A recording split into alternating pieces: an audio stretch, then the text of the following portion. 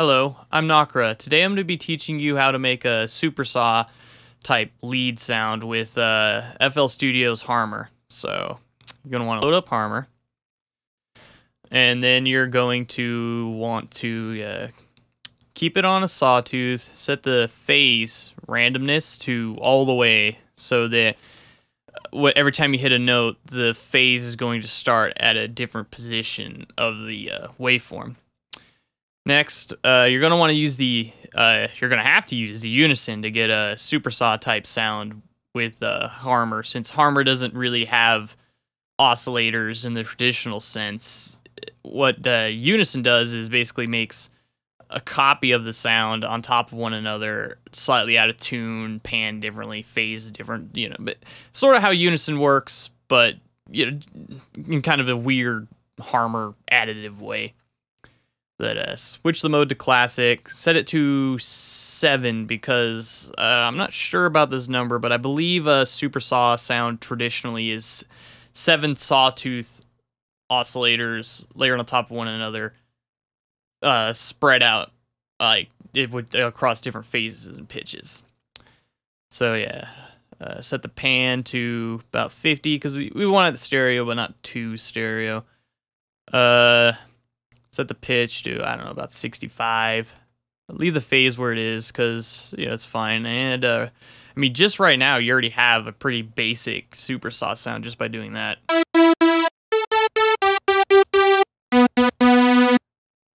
So yeah. Uh gonna want to adjust the uh, volume envelope too, so uh turn it on. Uh I like to set it to tempo. Oh, speaking of tempo. Oh, it's already 170. All right.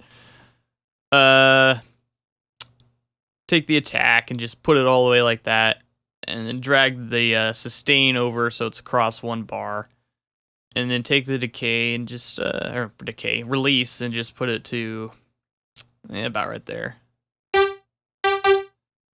Oh, let me get the visual going. There we go. Now it just, you know, has kind of a... Instead of just being immediately cut off as soon as you let go of the node, it kind of fades out. It makes it sound a little nicer. A little more pleasing to the ear. Uh, oh, I should probably explain this because I didn't do it in the last tutorial. Uh, if you go to advanced, you can go to the uh, performance versus quality tab, and then you go to precision, and uh, you could change like how accurate the uh, algorithm uh, algorithm is that FL or Harmor uses to calculate the uh, partials. I mean, I guess that's what it does. Anyway, uh, average, high, and perfect. Now, um, I can generally use high most of the time because I have like kind of a a pretty decent CPU. But I mean, if you have like a really good CPU, you could put it on perfect. But I would recommend just using high unless you know your CPU could handle it. So put that here. Anyway, uh, oh, another thing you're probably gonna want to do is uh, adjust the uh, wave shape a little bit. So go to local EQ and then just take the low end and drag it down a bit. So that way there's more high end and less low end in the sound. Just make it sound a little nicer because you, you, generally you don't want all that low end in your lead sound and just a little more high end it makes it sound brighter so yeah that's what we got now now uh since harmor's a additive synthesizer and uh, not subtractive one i mean even though it has stuff that mimics the way a subtractive synthesizer works it's still an additive synthesizer so what this means is it there's instead of having like if you create a sawtooth, it's not making an actual sawtooth waveform. It's stacking uh hundreds of sine waves on top of one another in each of those uh each of the harmonics a sawtooth would have and it uh, varies the level of each uh, partial to create whatever sound you're trying to make with it. That's why it can um recreate things like audio files and make sounds from images because it just analyzes that and then puts the volume of each uh, partial where it should be to create that exact same sound. It's uh, pretty neat. But uh, since it works that way, the filters on here, they don't actually cut off the frequencies. They're just lowering the level of those partials as they go through them. So like for example, if you just go like this, all it's doing is lowering the level of each partial and then eventually turning it off when it doesn't need to be on anymore. And uh, since it works that way, you can use the resonance in an interesting way because it uh, it's actually just raising the level of those partials. So you can use it as sort of a pseudo EQ, which is uh, what I'm going to do right now. So set the shape to custom shape one.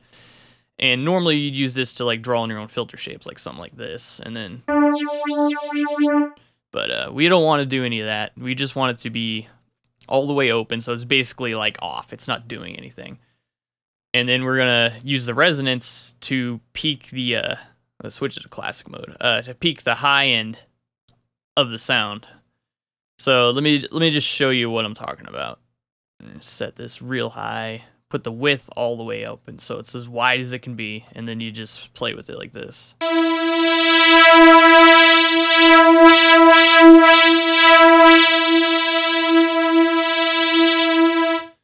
So yeah, we're going to use that to boost the high end. Uh, set it to about uh, 72, and then put the res at about, I don't know, 12. And that gives us a slight boost in the high end, gives it more, more makes it sound more bright, and it puts the frequencies where you kind of generally want them with this type of lead sound.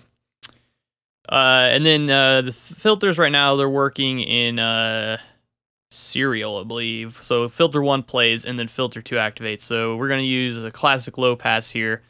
We're gonna add a bit of movement to the high end. So we can go like this.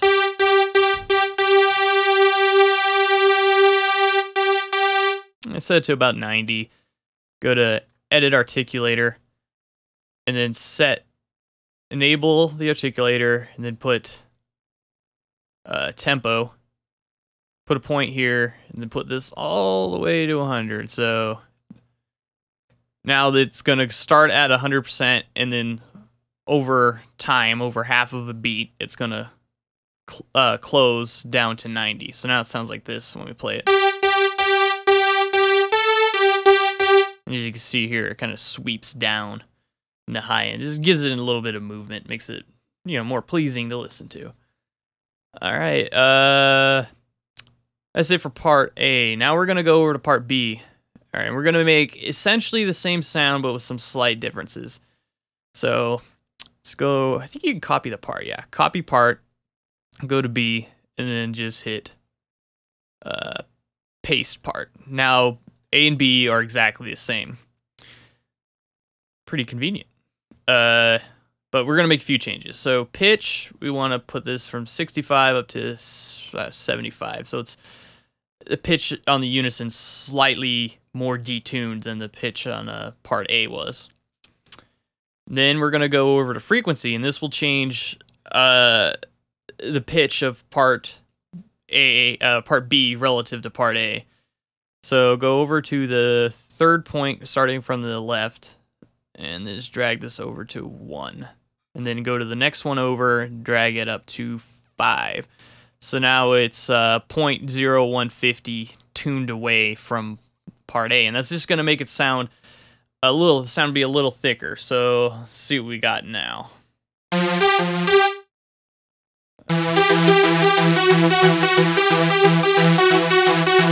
There we go.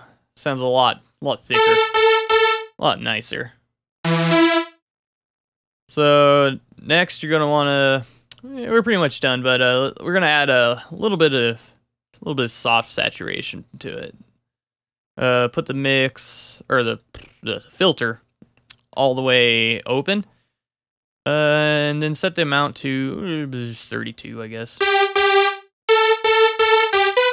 This just adds a little bit of this little like soft saturation. There's like really kind of pleasant distortion to it, not like abrasive, like you know, heavily modulated dubstep bass style distortion. Uh, and then that that's your basic sound right there.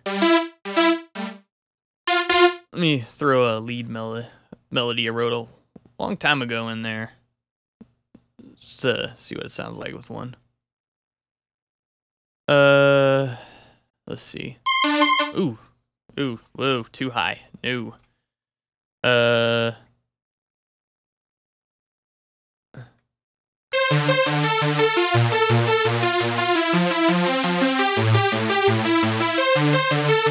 Yeah, there we go. Uh, let's change the notes.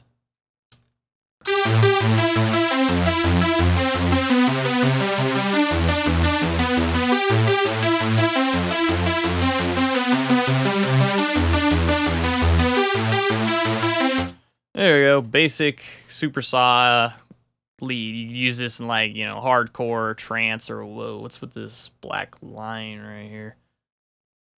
Some kind of graphical glitch. Uh, whatever. Uh, all right, it's gone now.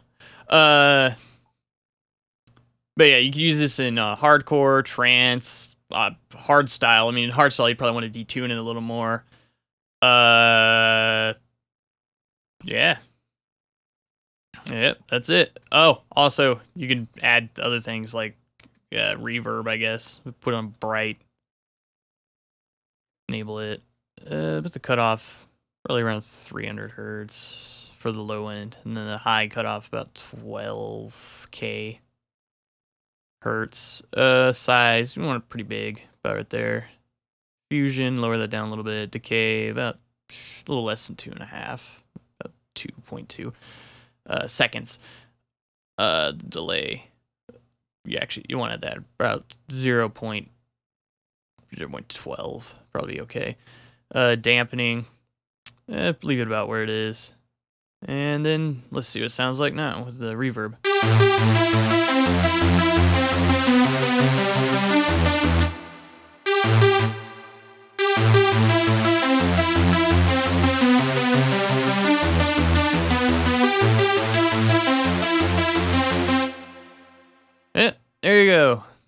So you can make a simple super saw lead type sound with Harmor.